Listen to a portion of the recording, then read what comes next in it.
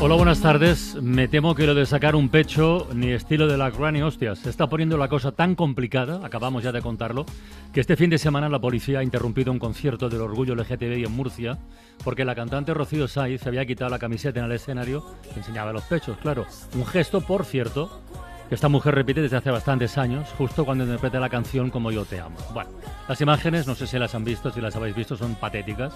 Intentos de cubrir el torso precisamente con una bandera LGTBI, en fin.